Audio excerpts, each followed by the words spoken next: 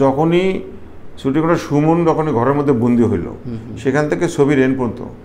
ওই রিলগুলো আসলে না আমরাও দেখতাম পিছনে সব ওই মেশিন টেশিন সেরা এসে দাঁড়িয়ে থাকতো। কিরে কি হয়েছে এরাও কাঁদতেছে আমরাও কাঁদতেছি। একটা কাজের সাথে জড়িত থাকার যে সাকসেসটা সেটার উপভোগ করার জন্য আমি দৌড়াইছি। এবং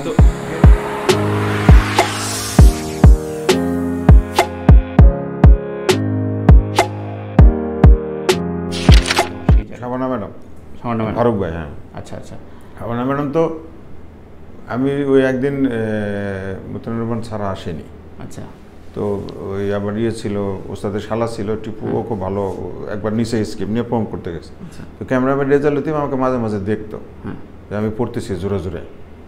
সে কোনো সিনটা পড়তেছি সে খেয়াল করছে। এই- টিপু রাখো রাখো রাখো। ওই আকবরে দাও। আকবর পারব? শাবানা ম্যাডাম করতেছে কো খালি দেখেন না পারে কিনা দেখেন। খুব আদর করতো। আচ্ছা।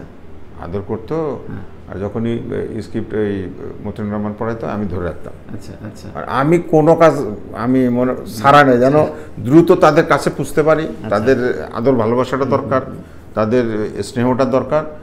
তাহলে আমি আরও হয়তো অনেক দূর কাজে করতে পারব যেতে পারব। তো ওই দিন প্রণ করছি। আচ্ছা। এটা রিলিজের আগে রিলিজের আগে পাঁচ সাত দিনের একটা ঘটনা বলি। জি। রিলিজের ঘটনাটা হচ্ছে যে আগে তো আমাদের ফিল্মে সিনেমা হতো না হ্যাঁ। নেগেটিভে হতো হ্যাঁ। তারপর এটা পজিটিভে প্রিন্ট করা হতো এটা পজিটিভে প্রিন্ট করলে তখন যে ল্যাব ছিল আমাদের যে পুরনো ল্যাবে তো সেখানে ওই কোথাও সাউন্ড ড্রপ করতো কোথাও দুই তিনটা ফ্রেম হয়তো হোয়াইট হয়ে যেত ব্ল্যাঙ্ক হইতো। যার জন্য কি করতে হতো এই যারা আমরা সেকেন্ড থার্ড এরকম অ্যাসিস্ট্যান্ট তাদের ডিউটি হলো একটা রিল বেরোচ্ছে মেশিন থেকে ওই মুভেবল প্রজেক্টর প্রজেক্টর ছিল। সাথে সাথে প্রজেক্টরের ইয়েও আছে অপারেটার আছে। আচ্ছা। আমরাও বসে থেকে খাতা নিয়ে নোট করতাম তো ওই সাথে সাথে রিল দেখতাম। আচ্ছা আচ্ছা হ্যাঁ সঙ্গে সঙ্গে চেক করতে হতো তো চেক করতে গিয়ে যেটা হয়েছে আমরা ছয় সাত দিন মনে হয় আমরা টানা চেক করছি।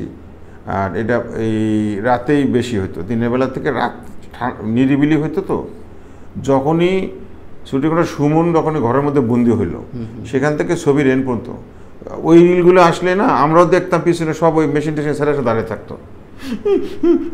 কিরে কি হয়েছে এরাও কাঁদতেছে আমরাও কাঁদতেছি। ছবি রিল চেক করতে শুটিং তো পড়ার সাবজেক্ট রিল চেক হচ্ছে। মানে ফোপানি কান্না এই যখনই রিল আসে। প্রতিদিন।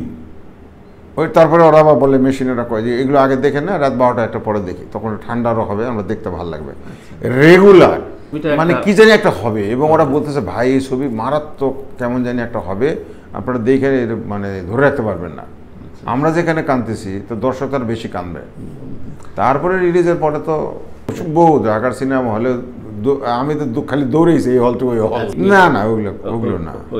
একটা কাজের সাথে জড়িত থাকার যে সাকসেসটা হ্যাঁ, হ্যাঁ, হ্যাঁ। সেটার উপভোগ করার জন্য আমি দৌড়েছি এবং গেটম্যান যারা টিকিট ঢুকায়।